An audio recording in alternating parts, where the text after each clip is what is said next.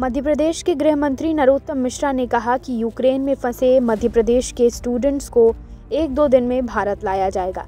प्रदेश के विद्यार्थियों को यूक्रेन से लाने के प्रयास खुद मुख्यमंत्री शिवराज सिंह चौहान कर रहे हैं और इसकी मॉनिटरिंग लगातार जारी है। केंद्र सरकार ने भी इस संबंध में एडवाइजरी जारी कर दी है। आपको बता दें कि मध्य प्रदेश के लगभग 60 छात्र ऐसे हैं जो यूक्रेन में पढ़ाई कर रहे थे और अभी वहाँ की युद्ध की आशंकाओं के बीच ये छात्र फंसे हुए हैं। पूरे भारत के बीस हज़ार से ज़्यादा छात्र यूक्रेन में फंसे हैं, जिनमें डर बढ़ता जा रहा है। युद्ध की संभावनाओं के बीच वह लगातार भारत सरकार से उन्हें भारत वापस लाने की मांग कर रहे हैं, जिस पर भारत सरकार अब एक्शन ले रही है और जल्द ही उन्हें वापस लाया जाएगा। इस बीच गृह मंत्री नरोत्तम मिश्रा का बयान कि फंसे हुए स्टूडेंट्स को एक दो दिन में भारत वापस लाया जाएगा। हैं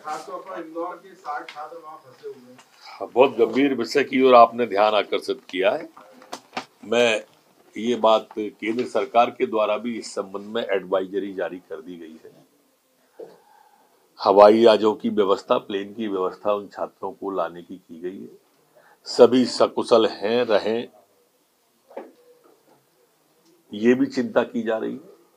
और 22 या 23 तारीख तक ये सभी लोग घर वापस आ जाए, ऐसी चिंता राज्य सरकार जी भी कर रही है, मुख्यमंत्री जी स्वयं भी इस पर ध्यान दे रहे हैं और केंद्र सरकार, प्रधानमंत्री जी सभी उसके लिए चिंतित है।